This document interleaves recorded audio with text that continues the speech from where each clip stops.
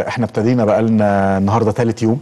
آه. ولكن ده تشغيل تجريبي. الإعلان الرسمي للحملة بتاعه الضيوف مصر هتكون اعتبارا من يوم 1 5 إن شاء الله.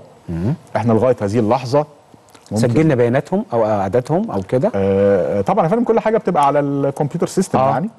فبالتالي أنا ممكن برضو فهنبدأ توقيع الكشف رسميا عليهم من أول مايو. بالظبط يا فندم. لكن ضمن مبادرة السيد الرئيس. لكن آه، دلوقتي تجريبي. آه آه يا فندم. يعني آه. إحنا في أول يومين خلصنا تقريبا 2500 آه، شخص. آه. دلوقتي إحنا عندنا 3454 شخص آه، من الأجانب آه، تم الكشف عليه. دلوقتي؟ بالظبط آه. يا فندم. نعم. في في يعني طبعا من الدول العربية يتصدرها فلسطين وسوريا آه المغرب آه السودان. في الاتحاد الأوروبي كشف عندنا الاتحاد الأوروبي؟ الشمالية. عندهم تأمين صحي. معلش أيوة. عنده تأمين صحي أيوة. هناك فندم. كشف أيوة. عندنا كمان؟ آه. عشان إيه؟ بيعمل إيه هنا؟ كشفوا عندنا مواطنين من روسيا مواطنين من آسيا. أصدقائنا أصدقائنا. نعم. تمام. ف... الروس ف... كمان اتكشف عليهم. آه، الاتحاد. الأوروبي اتكشف عليهم. صحيح. ضمن المبادرة. صحيح فندم. دول عندهم يورو. يعني دول بتكلم جد والله. حضرتك عرفت يا فندم عن البيان اللي أصدرته آه، المفوضيه اللاجئين التابعه للامم المتحدة مع منظمة الصحة العالمية من ثلاث أيام؟ قالوا إيه؟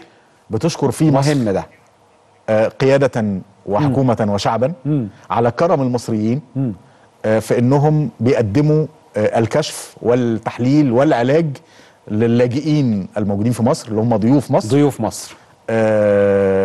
بشكل مجاني وبيعاملوهم معاملة المصريين وبيقولوا هذا الكرم معتاد من المصريين اللي دايما بيلجأ لها الجميع بحثا عن الأمن والسلام في مصر. إحنا عالجنا أكتر من 3000 لحد دلوقتي كشفنا عليهم أجانب. آه، فحصنا بالظبط الرقم أكثر بالظبط من 3454 يا فندم. 3454 بالظبط.